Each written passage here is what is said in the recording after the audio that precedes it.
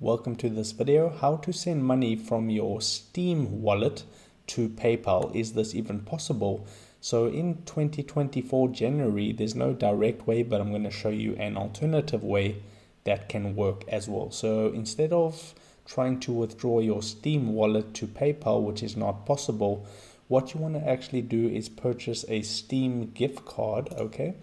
And then what we're going to do with the Steam gift card is we're going to send it to a friend that is willing to exchange that gift card for PayPal money. So basically, you want to go here and you want to find a retailer and you want to get a Steam gift card. These can um, basically be bought um, pretty easily. Then you want to go to your uh, profile and click on friends.